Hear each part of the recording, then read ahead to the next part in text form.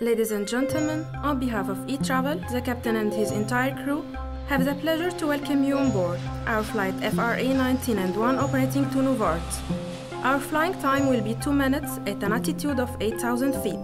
Please make sure that your seatbelt is securely fastened and your seat backs and tray tables to upright position. Thank you, have a nice flight. Attention please, we are pleased to inform you that our all travel request and expense settlement processes through the manual payment order and other local forms have been replaced by the global T&E system eTravel. Please note that the eTravel doesn't replace creating shopping cart on eShop system. Ladies and gentlemen, please give your attention to the cabin crew in front of you to highlight the downside of the old processes. Previously, you experienced delay in employees' expense starting from approvals, payment cycles through finance and treasury. Credit card statement is received at the 15th of the next month, accrual done at month end on a central account, as finance won't know the actual transaction. Cash advance or payment cash to employees cash from bank unit inside premises which is time consuming to the employee.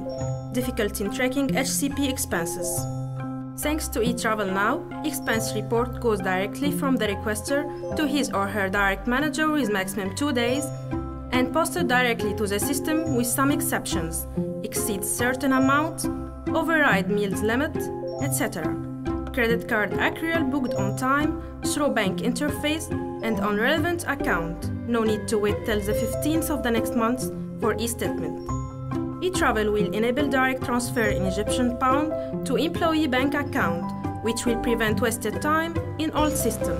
User can get multiple reports using several criteria, expense nature, flight number, HCP, etc. Finally, ladies and gentlemen, we hope you enjoyed your flight and we thank you for giving eTravel this opportunity to serve you.